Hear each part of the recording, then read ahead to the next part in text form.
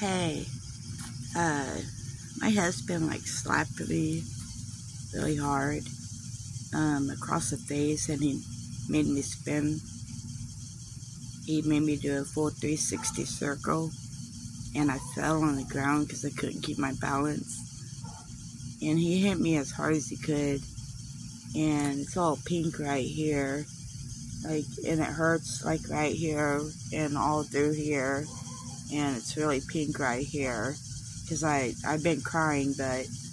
you know he he actually um, kicked me out on the street and uh, left me and divorced me after I had two kids um, and I just wanted to tell somebody so that y'all would know but anyway Thanks for listening.